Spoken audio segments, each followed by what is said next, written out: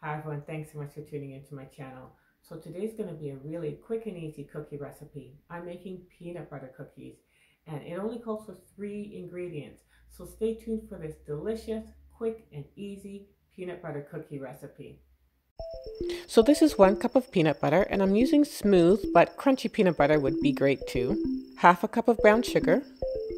This is optional but I like a dash of salt. And one egg. And now I'm just going to mix it all together until combined. This can be done with a hand mixer as well if you prefer.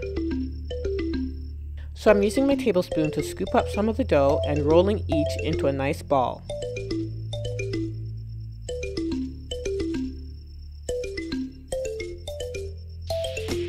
And then I'm using a fork to flatten the cookies and make a cute pattern on top.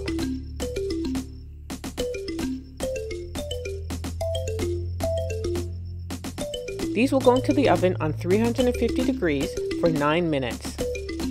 And here they are, a little crispy on the outside and nice and soft on the inside.